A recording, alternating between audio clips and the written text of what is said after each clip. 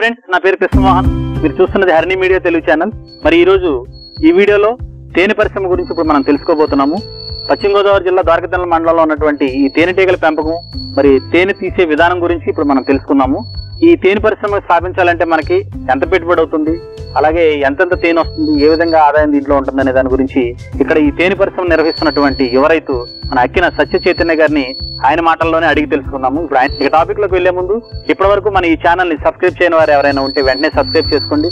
అదేవిధంగా bell symbol పైన వచ్చి మన ఈ ఛానల్ నుండి వచ్చే కొత్త వీడియోస్ యొక్క నోటిఫికేషన్ ఆన్ చేసుకోండి. మీకు ఈ వీడియో కనుక నచ్చినట్లయితే ఒక లైక్ ఇవ్వండి. ఇలా మీరు ఇచ్చే ఈ లైక్స్తో నేను మరెన్నో కొత్త వీడియోస్ని ఎంతో ఉత్సాహంగా మీ ముందుకు తీసుకురావడానికి అవకాశం ఉంటుంది ఈ టాపిక్లోకి వెళ్దాం. నమస్తే. నా పేరు అక్కిన సత్య చైతన్య నారాయణపురం గ్రామం ఊటూరు మండలం వెస్ట్ గోదావరి డిస్టిక్ నేను సుమారుగా ఐదు సంవత్సరాల నుంచి తేనెటీగల పరిశ్రమని రన్ చేస్తూ ఉన్నాను. స్టార్టింగ్ ఐదు పదహారు పెట్టెలతో స్టార్ట్ చేశాను. సుమారుగా నా దగ్గర ఇప్పుడు నాలుగు వందల తేనె పెట్టెలు ఉన్నాయి. నేను ఎన్ఆర్డీలో రాజేంద్ర నగర్లోని ఎన్ఆర్డీలో మా గురువారం పైడి రా పైడి రవీంద్ర గారి దగ్గర ట్రైనింగ్ తీసుకున్నాను. ఫస్ట్ ఆఫ్ ఆల్ తేనెటీగల పరిశ్రమ స్థాపించాలనుకునే వాళ్ళు మాత్రం ఖచ్చితంగా ట్రైనింగ్ అనేది తీసుకోవాలి. ట్రైనింగ్ తీసుకోకుండా మెలకువలు తెలుసుకోకుండా ఈ పరిశ్రమ స్టార్ట్ చేయడం వల్ల కొన్ని ఇబ్బందులు అవి ఫేస్ చేయాల్సి వస్తుంది.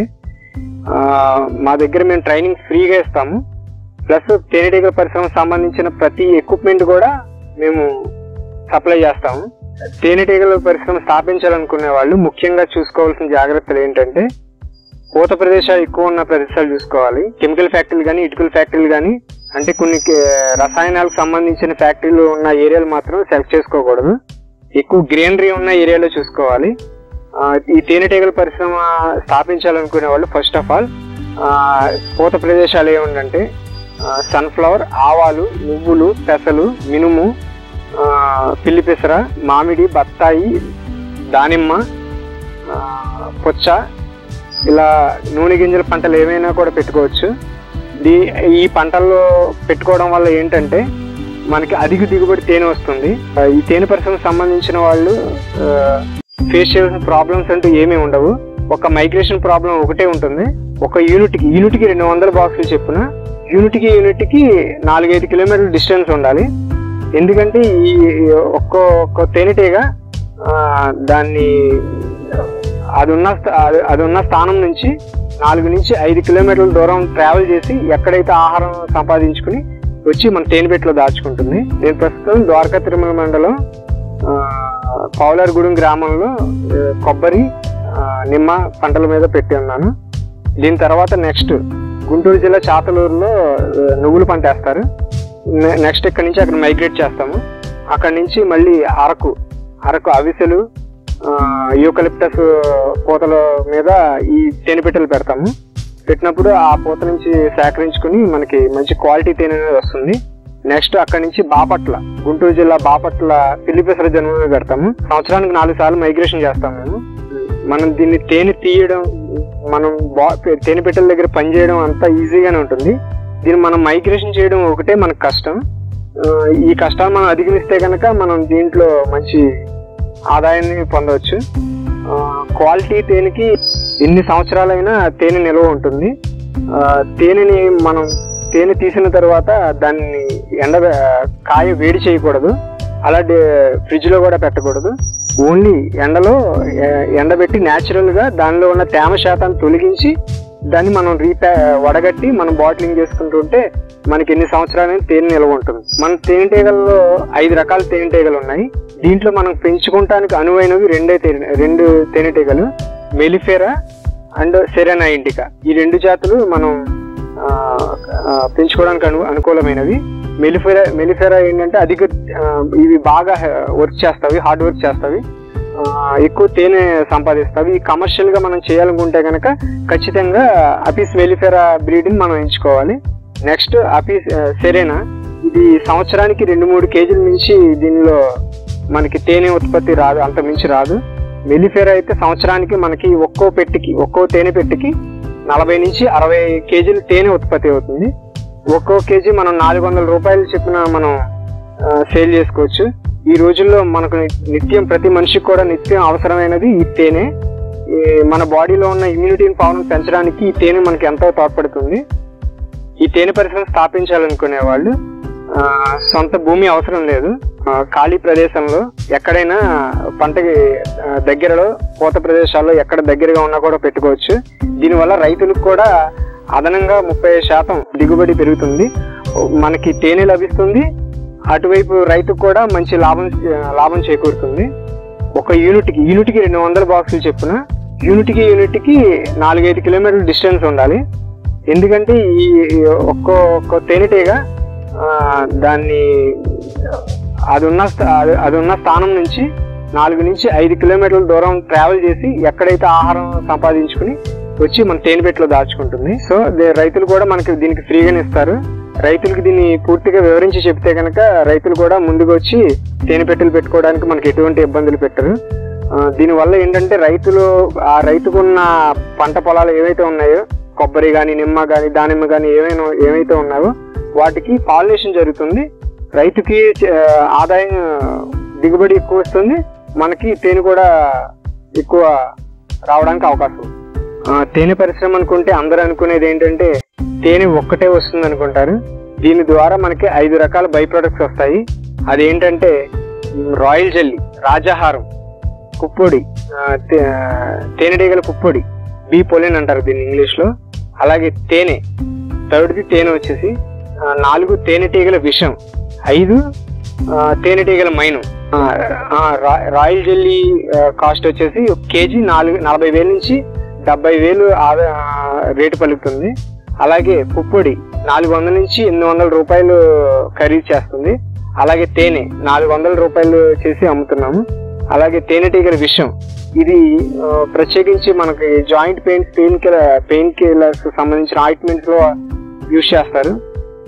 ఐదు తేనెటీగల మైను. బ్యూటీ టిప్స్లో బ్యూటీ ప్రొడక్ట్స్లో వాడతారు. తేనెలో ఎన్ని రకాలు ఉంటాయంటే తేనె తేనె ఒక పూత నుంచి సేకరించింది ఏ పూతకు సంబంధించి ఆ పూలలో ఉన్న మకరందాన్ని బట్టి రంగు రుచి వాసన చిక్కదనం అనేది ఆ పూలలో ఉన్న మకరందాన్ని బట్టి డిపెండ్ అయి ఉంటుంది.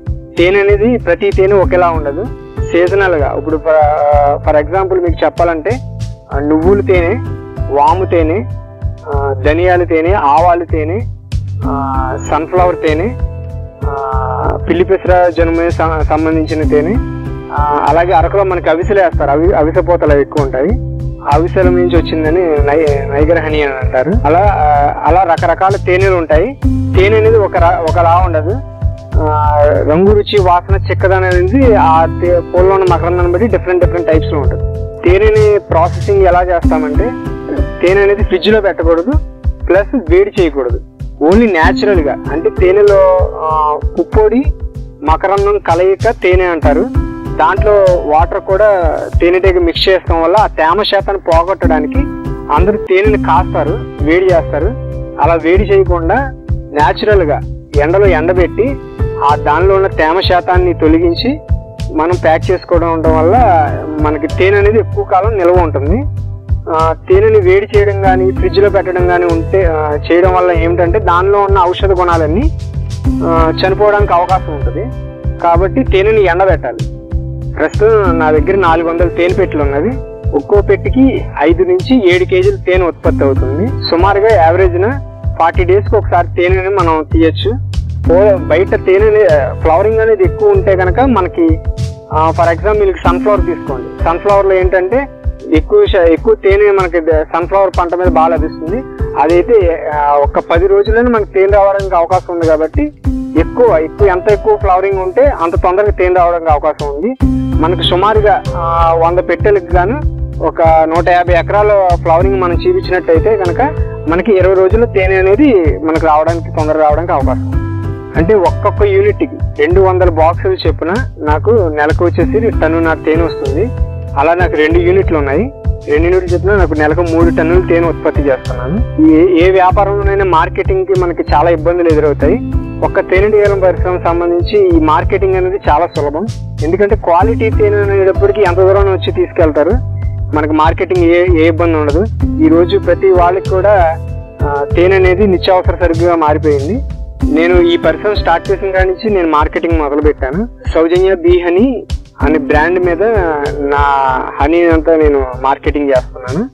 కేజీలు అర కేజీలు పావు కేజీలు చేస్తున్నాను. మల్టీ ఫ్లవర్ వచ్చేసి త్రీ హండ్రెడ్ రూపీస్కి నేను ఇస్తున్నాను. అలాగే కూర్గహని కూర్గహని అని చెప్పేసి మూడు వందల యాభై రూపాయలకి అలాగే అజ్వైన్ వాము తేనె నాలుగు వందల యాభై రూపాయలు అలాగే వేప తేనె ఆరు వందల యాభై రూపాయలు చెప్పిన నేను మార్కెట్ చేస్తాను. నేను ఈ మార్కెటింగ్ అనేది అవుట్లెట్స్ ద్వారా అంటే నాకున్న ఏలూరు కానీ ద్వారకా తిరుమల వెస్ట్ గోదావరి డిస్టిక్లో ఏలూరు కానీ ద్వారకా తిరుమల ద్వారకా తిరుమల దగ్గర పంగిడిగూడెం గ్రామం దగ్గర కానీ నారాయణపురం నిడదవోలు తాడేపల్లిగూడెం భీమవరం ఆక్యూడ్ ఇలా ఈ ఏరియాలో నేను అవుట్లెట్స్ అయి పెట్టి నేను మార్కెట్ చేస్తున్నాను. నాకైతే మంచి రిజల్ట్ కనబడింది. కస్టమర్ కూడా ఫుల్ సాటిస్ఫాక్షన్గా ఉన్నారు. క్వాలిటీ అనేది ఉండడం వల్ల క్వాలిటీ మనం ఎక్కువ క్వాలిటీ అందించడం వల్ల ఏంటంటే జనాల్లో కూడా ఈ ప్రోడక్ట్ అనేది తొందరగా ఎక్కుతుంది. నిరుద్యోగ యువకులు ఎవరైనా కూడా ఈ తేనె పరిశ్రమని ధైర్యంగా స్టార్ట్ చేసుకోవచ్చు. దీనివల్ల మనకి ఒక్కొక్క పెట్టికి ఆరు వేల ఐదు వందల రూపాయలు ఖర్చు అవుతుంది మీరు స్టార్టింగ్ పది పెట్టులతో మీరు దీన్ని స్టార్ట్ చేయగలిగితే కనుక అరవై ఐదు వేల రూపాయలు ఖర్చు అవుతుంది ఒక్కొక్క పెట్టికి మనకి నెలకు వచ్చేసరికి ఐదు నుంచి ఏడు కేజీలు తేనె వస్తుంది. ఒక్కొక్క కేజీ నాలుగు వందల రూపాయలు చెప్పిన మనం నాలుగు వందల రూపాయలు చెప్పిన మనం ఖరీదు చేసి అమ్ముకోగలి అమ్ముక మార్కెట్ చేయగలిగితే కనుక మనకు మూడు నెలల్లోనే మన పెట్టిన పెట్టుబడి తిరిగి రావడానికి మనకు అవకాశం ఉంది. నా బ్రాండ్తో కనుక సౌజన్య బిహని ఈ బ్రాండ్తో కనుక మీరు ఎవరైనా ఫ్రాంచైజ్ అంటే డిస్ట్రిబ్యూటింగ్ కానీ ఎవరైనా తీసుకుంటే కనుక నేను ఈ నా ప్రోడక్ట్ అనేది సప్లై చేస్తాను.